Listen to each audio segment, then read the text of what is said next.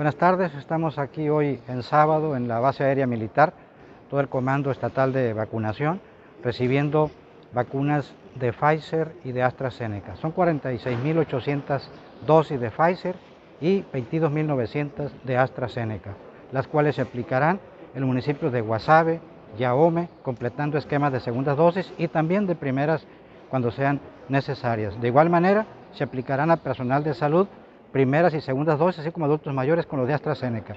Seguimos adelante, cuídense, como siempre lo señalamos diario, no bajemos la guardia, estamos todo el comando aquí, Fuerzas Armadas, Sistema de Salud, la Universidad Autónoma de Sinaloa, siempre para bien de la población. Muchísimas gracias, muy buenas tardes.